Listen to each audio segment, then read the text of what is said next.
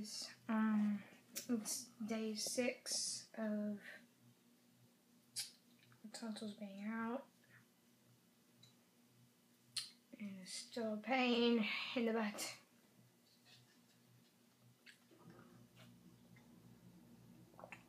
I'm trying to eat down this croissant. Um, my jaws hurt a lot this morning.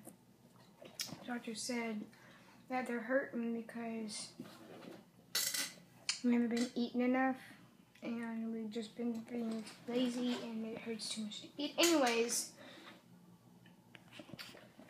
the doctor needs to get in mind because it hurts. So.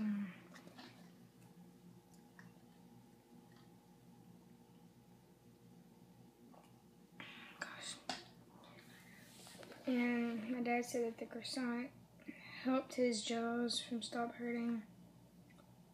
I don't know how. I've already eaten like through half of it, and my jaws were healed a lot more when I wasn't eating it.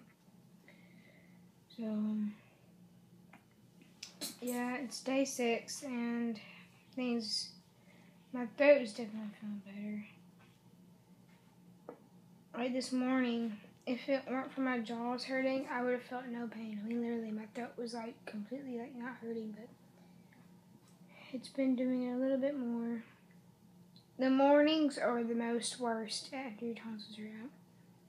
They suck so bad. So if you're going through tonsils out, I understand that the mornings are probably the most painful. And Yeah, I just hope it's over soon because it's super freaking painful. So yeah. Yeah, mornings are the most worst. Midday is okay. The nights, around the nighttime, it gets kind of bad too. But the mornings is what I've had the most problems with. And day by day, I'm just watching the clock, hoping the day will be over soon. Because days are actually going by a little fast and then a little slow. Now to think about it, I kind of regret doing all this because